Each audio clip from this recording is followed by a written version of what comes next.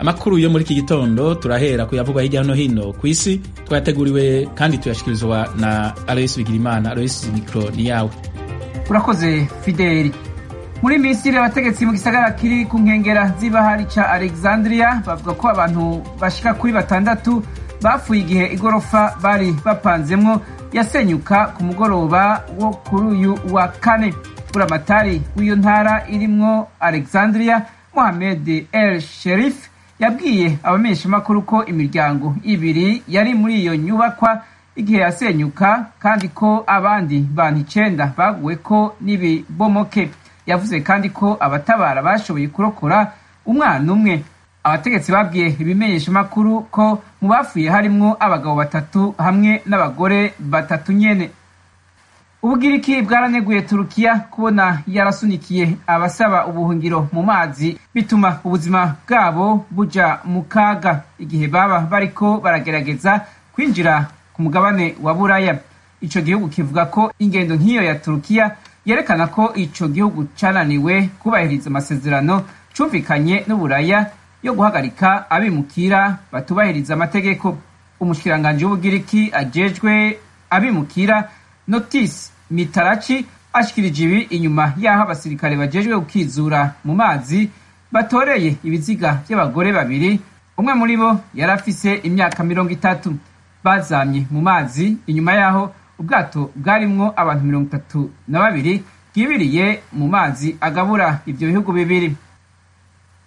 Umushikiranganji wa mbere wa sudani abdallah hamdoke yitezwe kongereza igitigiri c'abagize akanama karongoye igihugu mu kongeramwo abahurikiye mu runani rw'imihari y'abahoze barwanya leta yasinye amasezerano y'amahoro na leta. Abagize ako kanama bashobora kuzova kuri mirongo ibiri bakongerezwa gushika ku bashikiranganji mirongo ibiri na batandatu. Abashikiranganji bashasha byitezwe ko bagenwa mu minsi mike iri imbere nk'uko bishikirizwa n'urunani forces for freedom and change. Ruhurikiyemwo imihari ya politiki hamwe n'abahoze mu mihari y'abaroberi muri sudani. Hamdoke afise igikorwa gihambaye cyo gushikana sudani ku mahoro arama kunagura ubutunzi no guteza imbere demokarasi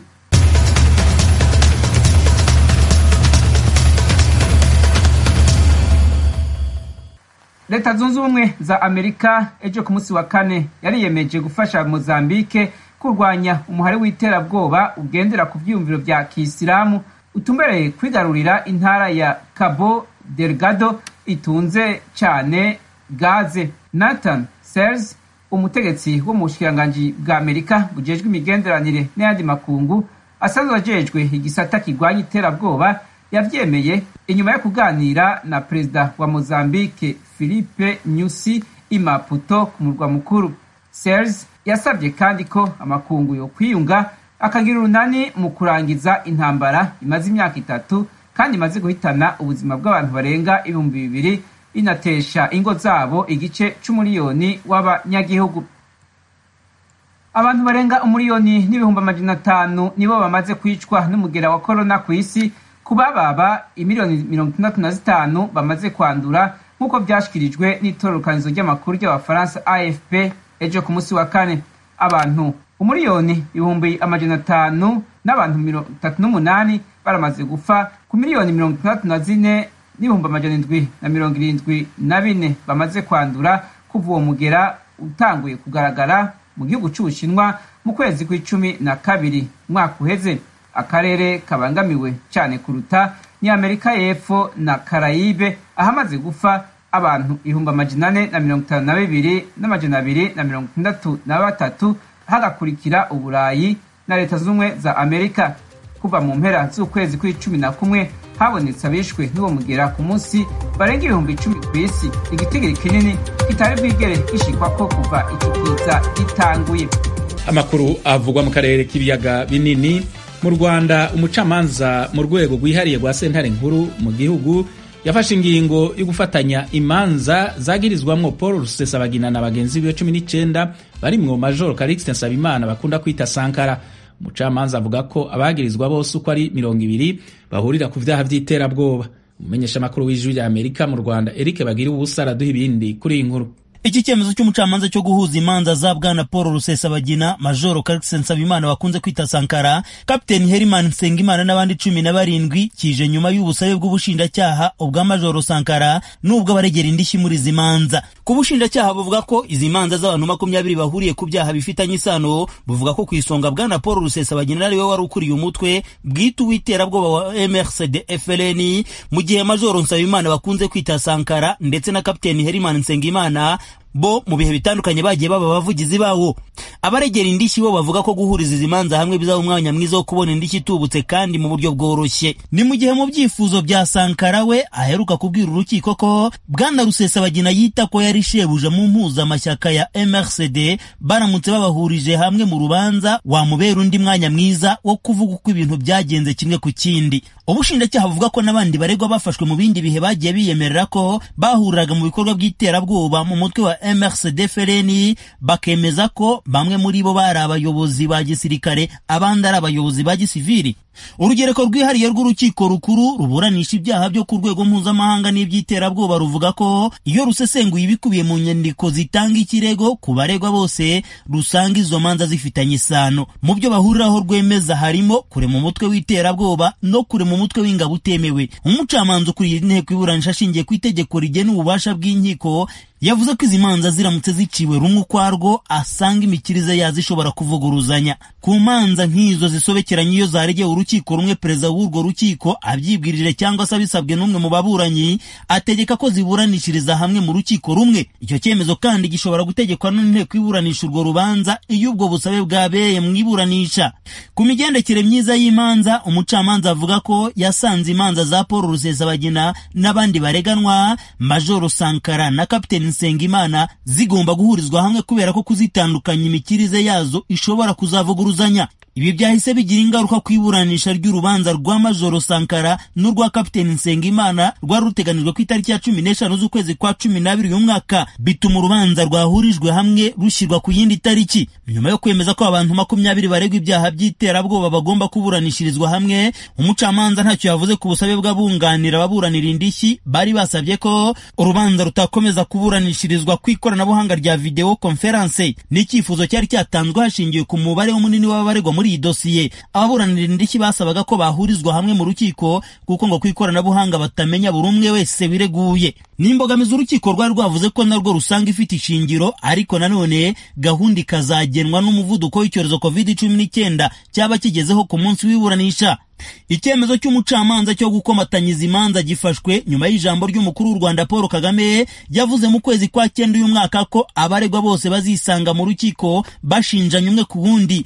Hari nyuma y'igihe gito agaruka ku ifatwa rya paul rusesabagina. Ariko ibitangazamakuru by'igihugu perezida kagame yavuze ko abari bamaze gufatwa bose bazagira aho bahurira buri wese ashinja undi ibyo bakoranye hagati yabo. Icyakora ari mu rukiko aburana urubanza rwe ku ngingo y'ifunga n'ifungurwa ry'agateganyo bwana paul rusesabagina we yabwiye urukiko ko ubwe akurikiranyweho ibyaha ku giti cye nta bandi bantu ubushinjacyaha bwita amashumi yazi bareganwa. Abaregwa bose uko ari makumyabiri bahurijwe muri dosiye imwe baregwa ibyaha by'iterabwoba bishingiye ku bikorwa by'umutwe witwara gisirikare wa FLN uyu mutwe ushamikiye ku mpuzamashyaka ya MRCD mu myaka ya bibiri na cumi n'umunani bibiri na cumi n'icyenda wigambye ko ari we wagabaga ibitero mu bice bitandukanye byo mu ntara y'amajyepfo no mu burengerazuba bw'u Rwanda. Ni ibitero byahitanye bamwe bigakomeretsa abandi bigatwika bikanasahura. Ku isonga habanje gufatwa majoro Karikisi Nsabimana bakunze kwita Sankara. Aregwa ibyaha cumi na birindwi byiganjemo iby'iterabwoba. Ni mu gihe uwamusimbuye ku buvugizi bw'umutwe wa FLN Kapiteni Herimani Nsengimana we aregwa ibyaha bitandatu ubutabera buvuga ko byose bihura n'ibyo Sankara aregwa. Naho bwana Paul Rusesabagina wafashwe nyuma wamamaye ku bwa filime Hotel Rwanda we aregwa ibyaha cumi na bitatu nabyo byiganjemo iby'iterabwoba. Urubanza rukomatanije hamwe ruzatangira kuburanishwa kuva ku itariki ya makumyabiri n'esheshatu z'ukwezi kwa mbere umwaka utaha wa bibiri na makumyabiri na rimwe. Aho bagira ubusa ijwi rya Amerika Nyanza mu majyepfo y'u Rwanda. Urakoze Eric. Mu Burundi abantu ijana na mirongo irindwi n'umunani nibo banduye umugera wa korona mu mezi abiri aheze no mu ntango ya kuno kwezi kw'icumi na kabiri. Ijana na mirongo irindwi na bane baje bava hanze y'u Burundi mu gihe bane banduriye mu Burundi. Leta imenyesha ko ikiza kikihari arico gituma abarundi bategerezwa kubandanya gukurikiza amategeko yo kwikingira inkuru dushikirizwa na Desire Ngimana muri ico kiganiro n'abamenyeshamakuru ku mugwa mukuru w'ubutunzi bujumbura umushikiranganji Tade Kumana yamenyesheje abo baza mu Burundi bakabasangana uwo mugera wa korona iyo baza baturuka n'ingene binjira mu Burundi. Ijana na batandatu barenga binjirana baciye ku mbibe dusangiye n'igihugu ca Tanzania abandi bazana indege abava mu Rwanda vyerekana yuko ibihugu bidukikije coronavirus ni nyinshi bisaba rero ko tugira inguvu tukiyubara kugira ngo dusubira inyuma ahubwo tubandanye dukora ibikorwa kompanyi zose tugenda turaba abantu zatuzaniye. Murabona yuko etiyopiyane imaze kuzana cumi na batatu bagwaye kenya cumi na babiri. Brussels airlines batanu. Rwanda air bane. Abazana un babiri uganda airlines umwe. Umushikiranganji w'amagara y'abantu amenyesha ko inyuma y'abo baza n'indege hari abaca mu kinywabi bakinjiza uwo mugera mu burundi. Abo rero tade ndikumana amenyesha ko bagiye gufatirwa ingingo ruhasha. Tese ya covid ugenda uriha amahera ibihumbi icumi gusa ya fishi utariha mugo ugarutse ufasha kugira ngo turonke amareactive baca bakwepa akacaca ikigoma akaza n'amaguru cyangwa n'imodoka umuzigo azanye yari gutanga ikori muri obeye akaca yizira mu ijoro akaca yinjira ntajya muri karantene akaca yinjira ugasanga hamwe hamwe yashyitse hagati mu gihugu. Abo rero twabivuze neza umuntu iyo azoca hose amapasiporo yabo dusaba abajejwe umutekano muri pafu ko bayagumya. Barabe neza uyu muntu ajya avaye kuko hariho imigenderanire isanzwe ihari. Hagati y'abenegihugu bo ku ntara zihanwe na tanzania aho usanga barima hakurya bakarima hakuno bakarima isoko. Ibyo nta ngorane kuko nta hantu kure baja. Muga abantu wese azoba avuye mu kindi gisagara Dar es Salaam n'ahandi azoshikira muri karantene. Mu ntara azoba yinjiriyemo muganga Tade Ndikumana asaba abashaka impapuro zerekana ko batanduye baba bava mu Burundi baja mu makungu canke abavayo ko bategerezwa kubahiriza amategeko ubushikiranganji bw'amagara y'abantu bwashinze. Kubera yuko twabonye ko ari abantu benshi bagenda hanze tubaje dusanga abakozi bo muri NSP birasa n'ibiko birabagora.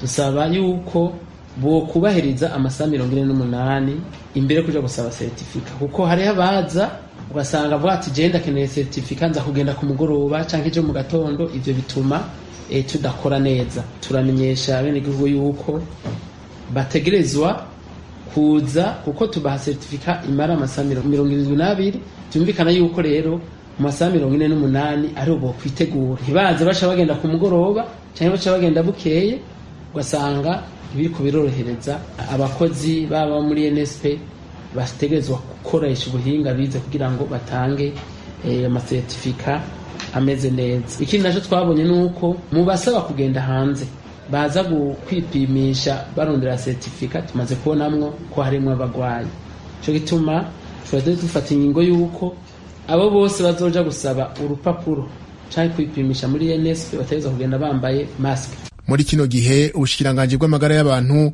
bumenyesha ko amahoteli amwe amwe atubahiriza amategeko y'abantu bari mu kato. Kubera ivyo muganga ndikumana amenyesha ko amahoteli yose yakira ingenzi ategerezwa gusinya amasezerano na leta yo gukurikiza amategeko agenga abantu bari mu kato abatayakurikije bagahanwa vy'akarorero. Kugeza rero kuri uno wa kane nk'uko bishikirizwa n'umushikiranganji w'amagara y'abantu abamaze kwandura ico kiza kuva giteye ni majana atandatu na mirongo icenda na babiri majana atandatu na mirongo itatu barakize mirongo itandatu n'umwe baracari ku miti nayo akaba ari we amaze kwitaba imana. Desire atungimana kigali ijwi ry'amerika abanyeshure hamwe n'ugwaruka mu ikambi ya mutenderi ntibakimenya kuganira neza mu rurimi rw'ikirundi naho ari nkingi y'imico n'akaranga vy'igihugu cabibarutse. Ni mu gihe igiswahili hamwe n'icongereza ari vyo biza imbere mu mashure bigiramwo bigatuma bavangavanga indimi zitandukanye. Umumenyesha amakuru w'ijwi rya amerika mu gihugu ca tanzania james joven ejo kuwa kane yatembereye mu ikambi ya mutenderi hanyuma aganira na bamwe mu banyeshuri hamwe n'abigisha bari muri iyo kambi. Igituma kenshi abantu byatunanira kuvuga kirundi kirongoreye nk'abandi nk'uko bisanzwe nk'uko ndi umurundi ni kubera kenshi usanga turi ku ishuri sansi twiga ibintu byinshi mu, mu, mu, gifaransa eh, ibindi tukavyika mu congereza. Bwake twiga iki, ikirundi? Mbwa ikirundi turaciga nk'uko turi abarundi. Ah, n'ikindi kibituma kenshi usanga aba- ababa ibijiji bizungurutse aya makambi bavuga igiswahili kenshi baraza kugira amabizinesi yabo ngahe ndani. Rero kugira uvugane nawe ntakuvuga igwa rurimi girante amenyereye nico gituma kenshi rero ah, nka- nka- muri iki- mu mu- Ah, no en general nyene twavuga ati aha kenshi bavuga igiswahili sivyo bavuga igiswahili nico gituma kenshi bitugora. Ya, nk'ico mugenzi wanje rose yavuze ati benshi tuvuge- tuvukira mu makambi tugakurira mu makambi tugahereza mu makambi so nk'umwana avutse muri iki gihe a- a- yumva ababanyi bavuga iswahili azokura uko nyene uko nyene uko nyene. Kw'ishure abone yiga ikirundi umwanya muto usange amenye igiswahili twumva ati ntuzi ikirundi ikirundi turakizi ariko kandi ntitukizi. Iyo tuvuga n'igiswahili icongereza igifaransa usanga ku vyose usanga tura turabivuga vuga uko nyene. Kubera bivanye n'ukuntu twabaye ngaha mu buhungiro mu buhungiro ego kweri ni ahantu hameze ukuntu mugabo hariho inyigisho nyinshi zitandukanye. Rero mu gihe tuba turi ngaha ah, turavuga ati kweri twebwe turamerewe nabi mu buzima ntitubona akazoza kacu rero reka twiteho ibintu kanaka. Naho cyo shikaye ugasanga umuntu akora igihe indimi zitandukanye ukiga igiswahili ukiga icyongereza ukitaho ibintu byose mu byose mu bicamake usanga uvyiteho kugira ngo urabe ko ejo hawe nawe hoza hazananye kugira ngo ubuzima bwawe buhinduke ko bwomera neza. Yani igituma twebwe abanyeshure turi mu buhungiro bituma tudavuga neza ururimi rw'ikirundi nk'uko bikwiriye bi, usanga turiko turacanga indimi nyene mu bisanzwe ikirundi ntacyo tuzi. Rero icyo mbona kibituma ivyo ni uko benshi muri twebwe tuvukira mu buhungiro tugakurira mu buhungiro ndetse no kwiga ugasanga umuntu ahereye mu wa mbere yiga mu buhungiro akarinda aheza amashure yigira mu buhungiro. Rero ico kiratuma neza yani nico gituma hanini mbona tutamenya ururimi rw'ikirundi. Mu buhungiro benshi usanga turi mu makambi yani mu, buhungiro bw'abatanzania bavuga igiswahili kenshi ukaca usanga nirwo rurimi tugira ntidukoresha kandi igiswahili n'icongereza aho tuba turi kenshi nivyo biza imbere mu vyigwa twiga. Rero bica bigorana ukuntu wosanga umunyeshuri azi ikirundi kintuze mbere ko amenya ikirundi ciza usanga azi icongereza arico azi kuvuga neza igiswahili ugasanga nico azi kuvuga neza bivanye n'iyo mvo dukurira mu mahanga mu bisanzwe. Je ico kibazo ico ndabivuga ko nuko biva hari nka jewe niga scientifique usanga kenshi ikirundi ntakunda kucitaho cyane mba mfise ivyo nitaho igifaransa kubera mba nzi nk'uko nza kwiga shimi canke biology mba niga mu gifaransa siniga mu kirundi kaca usanga umwanya wo kuguma mvuga ikirundi ndawubura sana ndi mw'ishuri nico gi- gituma kirundi kincanga sana. Hari n'ivyo mu vyo twiga mu kirundi kuko turiga icigwa c'ikirundi hari n'ivyo mbona bigisha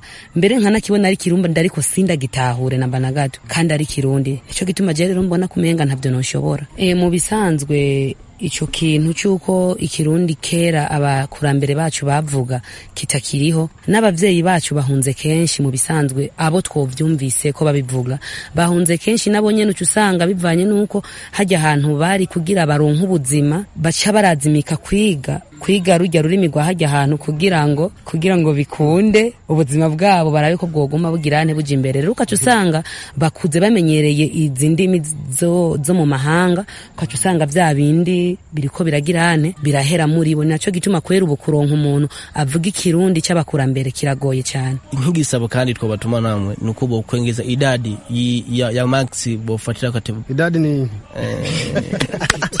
igitigiri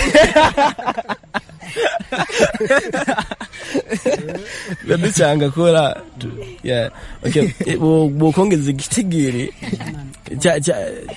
c'abagenda make bongeza inafasi z'abanyeshuri make pointi ba- ba- point bagabanya guma ipointi. Ama- amanota yo hejuru niho guma bafata ku manota yo hejuru eh, kazoza kabona ni kabi nyene karagohoye karagoye urumva bica bigorana urumva atazi kirundi so mu gihugu urumva ni ngorane. Eh, nico gituma rero twasaba ko amahugurwa abantu bakigishwa ururimi kavukire. Urabona abantu benshi kuva irindwi na kabiri bahunga. Abanyeshuri ubu ntibiga neza bivaye n'iki? Ni ukurya haguma haza abantu babwira ati ejo ni gutaha hirya ejo ni gutaha baca bitaho ku mashuri atakamaro afise. Baca babona ko nawe twokwiga ntawe turiko turaja. Ingorane nizo izo cyane cyane niko bumva abaza ngaha ngo ati ejo ni gutaha kwiyandikisha kuja nduta baca babona ati aha naho nguma ndiga nta kamaro.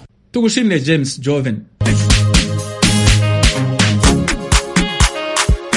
bakunzi ba radiyo ijwi rya amerika mutuye mu burasirazuba bwa repubulika ya demokarasi ya kongo turabararika kujya mukurikira ibiganiro byacu ku maradiyo akurikira. Radiyo kominotere de la voix de mikeno ibunagana ku murongo wa fm mirongo cyenda n'icyenda n'ibice birindwi. Radiyo ngoma ya mani yo mu mujyi wa baraka kuri fm mirongo urunani n'umunani n'ibice umunani. Radiyo baraka fm na yo mu mujyi wa baraka ku murongo wa fm mirongo cyenda na kane n'ibice bine. Radiyo kominotere la verite ikorera mu mujyi wa kiwanja kuri fm mirongo ugwenda n'ugwenda n'ibice zeru naho ku badukurikira muri mu majyepfo ya uganda mwakumva ibiganiro byacu kuri radiyo ijwi riyobora voice of muhabura ku murongo wa fm mirongo inani n'umunani n'ibice icyenda. Ni radiyo ijwi rya amerika iminsi yose kuva ku wa mbere kugeza ku cyumweru.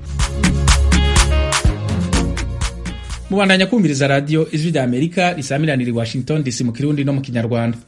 Uwahoze ari perezida w'ubufaransa valerie giscard d'estaing yitavye imana ku munsi wa gatatu afise imyaka mirongo icenda n'ine. Azize ingurikizi za virusi ya korona yategetse ubufaransa kuva mu mwaka w'igihumbi kimwe amajana icenda na mirongo irindwi na kane gushika mu mwaka w'igihumbi kimwe amajana icenda na mirongo umunani na rimwe. Yagendeye u rwanda mu mwaka w'igihumbi kimwe amajana icenda na mirongo irindwi n'icenda aje gukomeza umubano wasuwe n'uwo yari yasubiye perezida george pompidou. Ambasaderi celestin kambanda yahagarariye u rwanda kuva mu mwaka w'igihumbi kimwe amajana icenda na mirongo itandatu n'icenda gushika mu mwaka w'igihumbi kimwe amajana icenda na mirongo irindwi na kabiri aribuka Valeri giscard d'estaing akiri umushikiranganji w'ikigega ca leta mu bufaransa. Yavuganye na mugenzi wacu Venus nshimiyimana akorera mu biro vy'ijwi ry'Amerika i londres mu bwongereza ministre de finance namumenye washington yajyaga aza mu nama za fond na banki mondiale. Perezida valerie giscard d'estaing yasuye u rwanda mu kwezi kwa gatanu umwaka w'igihumbi kimwe magana cyenda na mirongo irindwi n'icyenda. Hari icyo mwibuka kuri urwo rugendo? Urwo rugendo rwe icyo nigeze kumva ni uko yakoze ni parti de chasse na perezida habyarimana muri parike nationale y'akagera ni ukuvuga ko yajyanye na perezida habyarimana guhiga muri pariki y'akagera. Perezida giscard d'estaing yageze ku butegetsi mu mwaka w'igihumbi kimwe magana cyenda na mirongo irindwi na kane asimbuye perezida pompidou wari umaze kwitaba imana ku buryo butunguranye mbese umubano w'u rwanda n'ubufaransa wari wifashe gute mbere y'uko giscard d'estaing agera ku butegetsi? Wari umeze neza cyane wari ushingiye cyane cyane muri kooperasiyo muri domene mu burezi no mu no muri transport kuko ni bwo nyine twanegusiyaga esikari ya air france mu rwanda ni muri icyo gihe nyine. Kandi byabyaye umusaruro kuko ndumva ari mirongo irindwi na kabiri. Ni nabwo twanegosiyaga rya shuri lycée france riya i kigali itangira muri icyo gihe nyine nabwo ari na air france. Hakaba yemwe na centre culturelle na culturelle we ariko hari na université radiophonique de Gitarama tout premier contact ni ho zatangiye ariko radio yaje gutangira. Nyuma ariko twari twaratangiye za contact officieux avec une, une congrégation y'ababikira ariko nyine sur le du ministre français de la coopération. Ni muri uwo mwaka no muri uwo mwaka nyine narangije umurimo wanjye mu bufaransa. Igihe nyine indege yazaga mu rwanda ni bwo nanjye narangije. ambasaderi celestin kabanda ndabashimiye cyane ku bw'aka kanya. Mwahaye ijwi ry'amerika